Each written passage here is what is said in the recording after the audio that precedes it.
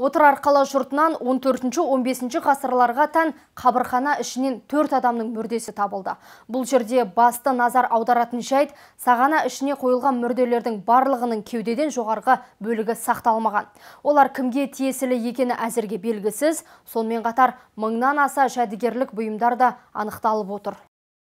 Өз заманында өркениеттің ордасы саналы батыс пен шығысты байланыстырған отырардың ата тарихымызда алар орны ерек. Биылғы жылы орта ғасырлық отырар қала жұртында Қазақстан Республикасы мәдениет және спорт министрлігінің қолдауымен Қазақ хандығының қалалары саяси экономикалық және мәдени өмірдің орталықтары жобасы аясында археологиялық қазба жұмыстары жүргізілді. Жобаның мақсаты отырар қала жұртының 13-15 ғасырларға тән құрылыс қабатын ашу ғылыми айналымға енгізу қаланы мекендеген тұрғындардың заттай материалдары мен рухани танымын айқындау.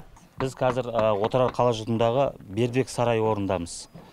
Бұл бердібек сарай орында қазіргі таңда мынау реставрациялық жұмыстар атқарылуда.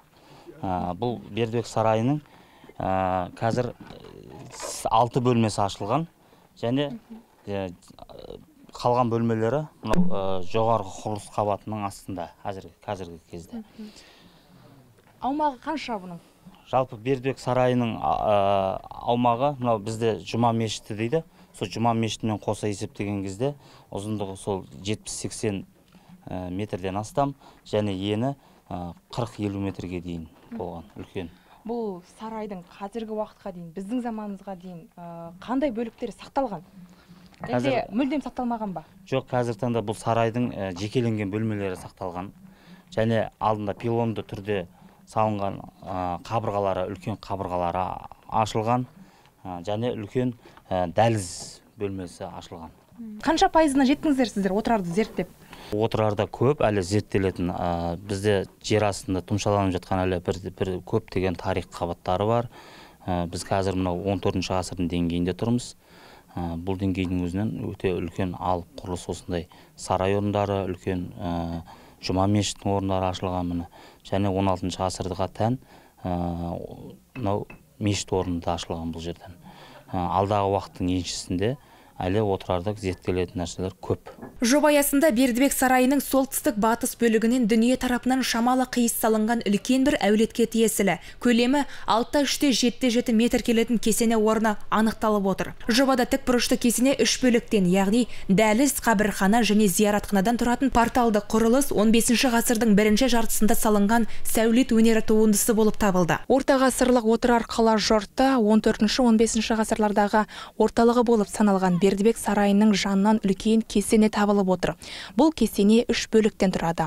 Және де сол үш бөліктің ең маңызды бөлігі ол қабірхана болып табылады. Және де біз сол қабірхананың дәл алдында тұрмыз. Мұнда төрт адамның мүрдесі табылған. Қабірхана бөлмесі енді үш жүз жетпіс бесте үш жүз жетпіс бес көлемінде салынған. Айналдыра іргетас ретінде жеті сегіз қатар қыштымен өріліп төрт бұрышынан қырлы тақияның тақияның қыры тәрізді төрт бұрышынан күмбезге өрілген.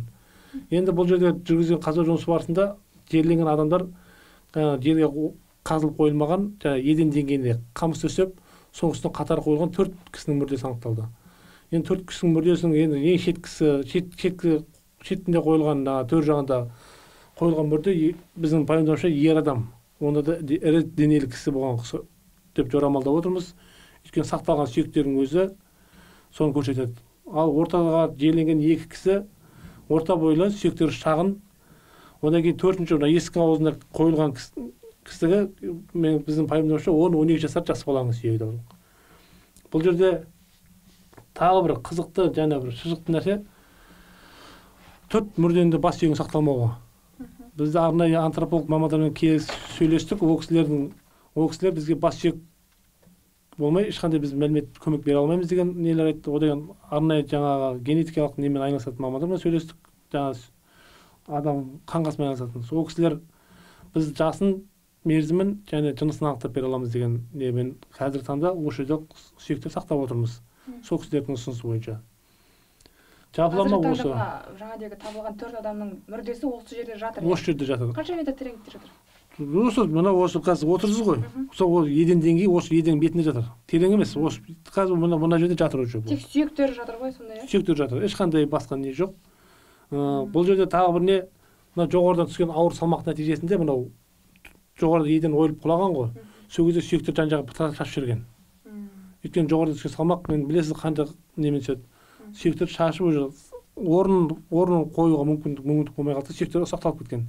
Бұның астында енді болашақта құдай құдай біледі уақыт көрсетеді. Бұның астында тағы да мәдени қабат бар.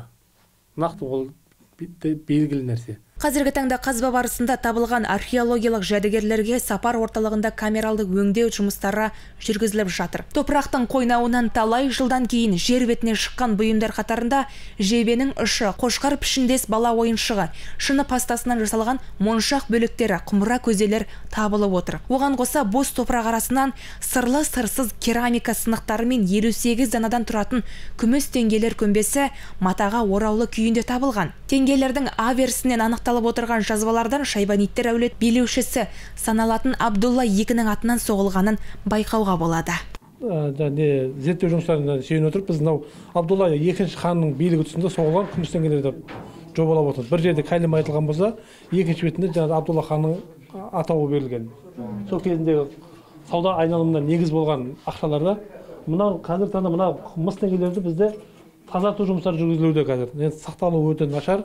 Жазулар енді басым бөлігі оқылмайды. Сонда да енді барынша мүмкіндігінше аналогпен салыстыра отырып оның болашақта несін аламыз? Мына жерде мына толық тазартудан жарым жартылай тазартудан өткен теңге мысалы бұның барлығын осы өзіміз мамандарымыз тазалап енді ғылыми айналымға енгізіп жатыр халықты ояту үшін тарихты ояту керек. Отырар жәдігерлері мен археологиясының беймәлім сырлары беймәлім қырлары әлі көп.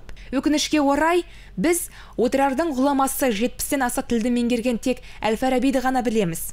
Одан бөлек қанша биік тұлға қанша тарихтың тарихы топырақ астында көміліп жатыр. Қорыта айтқанда өткенімізге үңіліп барымызды бағалап жоғымызды түгендеуге не кедергі? Рухани жаңғыру бағдарламасы аясында тарихты түгендесек тұлғалары тірілмесе де ерлік жолдарын келер ұрпаққа ұмыт қылмай бабалар жүрген жолда болашаққа жеткізу.